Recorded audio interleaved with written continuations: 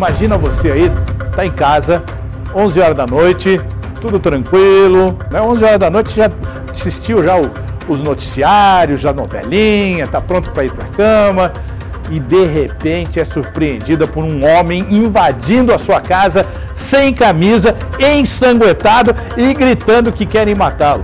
É um susto, né? Pois é. Uma moradora do Jardim é, Orquídeas passou por isso ontem e quem conta pra gente essa história é o Alfredo Neto. A Polícia Militar recebeu um chamado de invasão de propriedade no final da noite dessa terça-feira, quase começo de madrugada de quarta. Ali no bairro Jardim Guanabara, já na divisa com aquela invasão que acontece na saída para a Brasilândia, relatou no telefone que um homem estaria dentro da residência quebrando tudo.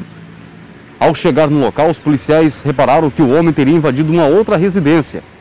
Nesta casa, o homem acabou entrando e sujando toda a residência com sangue. A moradora acabou assustando com a situação e o homem acabou tentando se trancar em um dos quartos da casa. No local havia mulher e três adolescentes. O homem foi retirado por populares e, para a polícia militar, ele relatou que estaria na casa dele, um barraco, na invasão, quando ele acreditava que alguém queria o matar. Ele acabou quebrando todos os móveis da casa e fugindo. E durante a fuga ele acabou se cortando. A polícia militar, em conversa com a esposa dele, acabou descobrindo que ninguém queria matá-lo.